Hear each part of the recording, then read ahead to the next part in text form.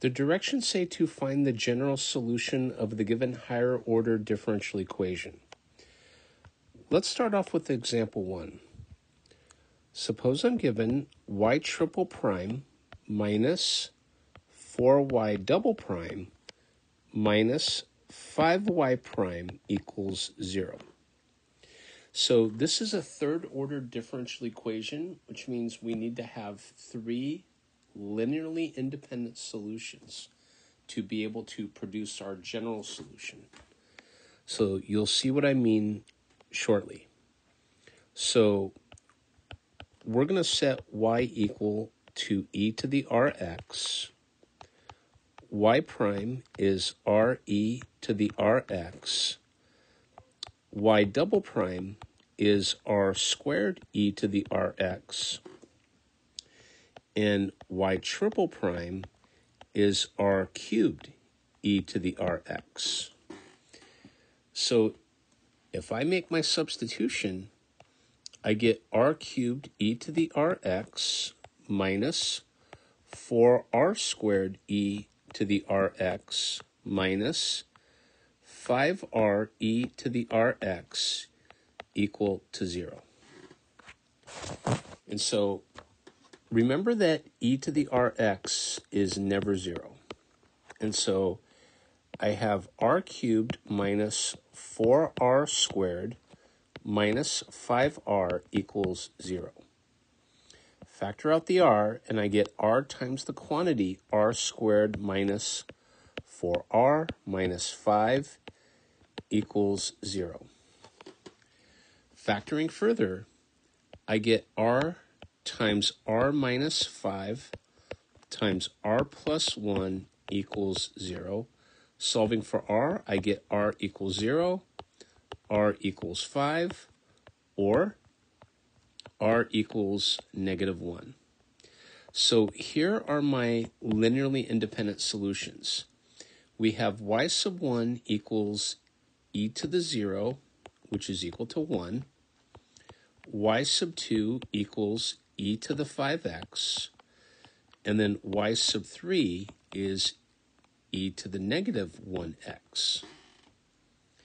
So therefore, my general solution, y, is a plus be to the 5x plus ce to the negative 1x. And that's how we do example one. Let's take a look at example two.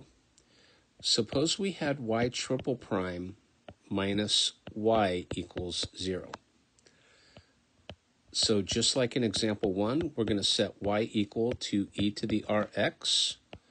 y prime is re to the rx. y double prime is r squared e to the rx.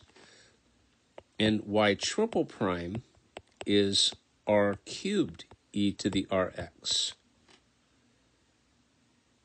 So if I make my substitution, I get r cubed e to the rx minus e to the rx equals 0. e to the rx is never 0. And so therefore r cubed minus 1 equals 0. So if I factor, I get r minus 1 times r squared plus r plus 1 equals 0. So either r equals 1 or r squared plus r plus 1 is equal to 0. All right? Now, from here, we get r equals 1, and by the quadratic formula, we get r equals negative 1 plus or minus the square root of b squared, which is 1 squared, minus 4 times 1 times 1. So b squared minus 4ac all over 2 times 1. So going further, we get r equals 1 or r equals, now here we get negative 1 plus or minus, I claim it's i times the square root of 3 divided by 2, which is equal to negative 1 half plus or minus i times the square root of 3 over 2. And just like in example 1, we need three linearly independent solutions. Okay? Now, here, notice that alpha equals negative 1 half, and beta is square root of 3 over 2. So my three linearly independent solutions are y1 equals e to the x, y2 equals e to the negative 1 half x cosine of square root of 3 over 2x, okay? And then y3 is e to the negative 1 half x times sine of square root of 3 over 2 times x.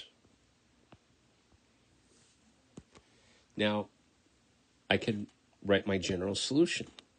So y is ae to the x plus, now if you don't mind, I'm going to factor out an e to the negative 1 half x. And then I'm going to multiply by b cosine of square root of 3 over 2x plus c times sine of square root of 3 over 2 times x. And that's how I express my general solution. Let's take a look at example 3. Suppose I ask you the following suppose I had y triple prime uh, plus 3y double prime minus 4y prime minus 12y equals 0. Okay? Now, from here, again, let y equal e to the rx. y prime is re to the rx. y double prime is r squared e to the rx. And then y triple prime is r cubed e to the rx. Now I'm going to make my substitution, and if you don't mind, I'm going to divide by e to the rx. And when I do, I get r cubed plus 3r squared minus 4r minus 12 equals 0. Now, we're going to factor by grouping. I'm going to look at the first two terms, and I'm going to take out an r squared. And when I do, I get r squared times r plus 3, and then look at the second two terms and take out a minus 4, and then multiply by r plus 3 and set that to 0.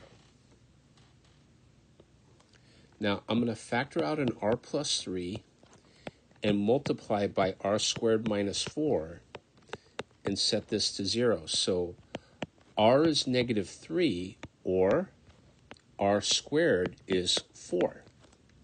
So r is negative 3, r is negative 2, or r is 2. Remember, third order differential equation, three linearly independent solutions. And so my general solution will look like y equals ae to the negative 3x plus BE to the negative 2x plus CE to the 2x. And that's how we do example 3. Let's take a look at example 4.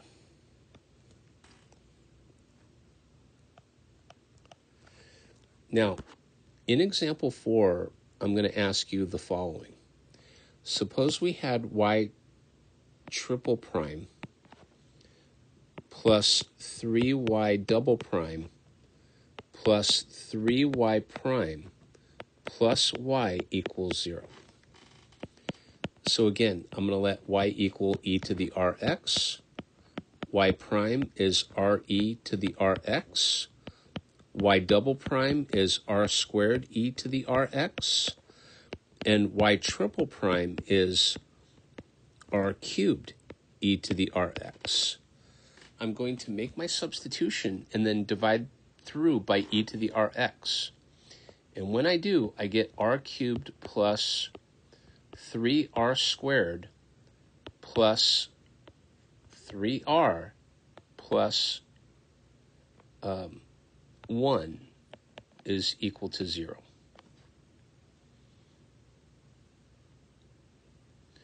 Okay? Okay, so r equals negative 1 is a solution of r cubed plus 3r squared plus 3r plus 1 equals 0. Okay? So, which tells me that r plus 1 is a factor. Now, do we remember synthetic division where I make a negative 1 and I draw my little backwards L. And I'm going to put the coefficients of the of r cubed, r squared, r, and the constant all lined up. So in other words, I'm going to put a 1, a 3, a 3, and a 1. I'm going to draw a line, and I'm going to copy the 1 down. And then I'm going to multiply negative 1 times 1 and I'm going to get one, one, negative one, of course, and I'm going to put that in this second column. And then when I add, I get 2. And then I'm going to take negative 1 times 2 and put that in the third column. So this is negative 2. I'm going to add to get 1. And then negative 1 times 1 is negative 1. I'm going to add to get 0. And so, therefore, r plus 1 times r squared plus 2r plus 1 is equal to 0. That's what that says. So I go from here, and then knowing that r equals negative 1 is a solution of this equation, that allowed me to factor the left-hand side. But if you notice, r squared plus 2r plus 1 is a perfect square. So I can write this as r plus 1 times r plus 1 squared equals 0.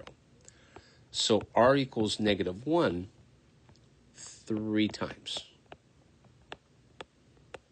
So when you have a repeated root, it looks something like this.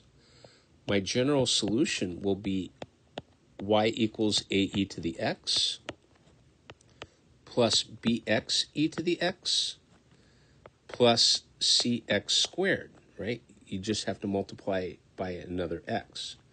So you get cx squared e to the x. And it looks something like this. Okay. Um, that was example four. Let's see if we can hit one more example for this video.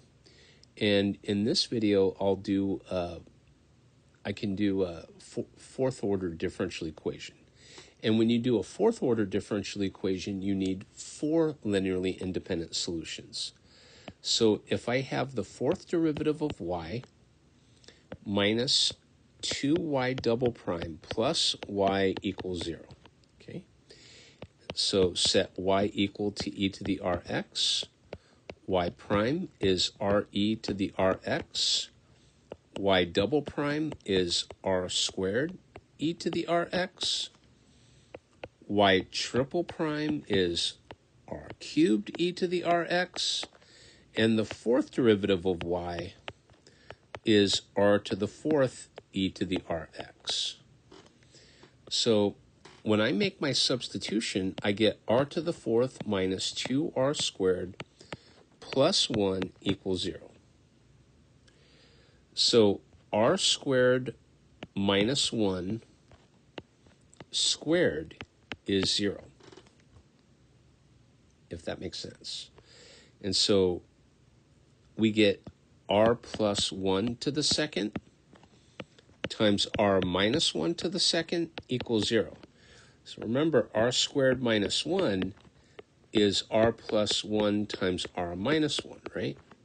So r equals negative 1 twice. Remember, this is a fourth order differential equation, so you need four solutions. Or r equals 1 twice. And now we get to write our general solution. So y equals ae to the negative x plus bx e to the negative x. That took care of this part. And then we have ce to the x plus cx e to the x. And that took care of this part. And that's example five. And I think this is a good stopping point. Um, that'll do it for this video. It and we solved uh, higher order differential equations, and we did five examples. Thank you.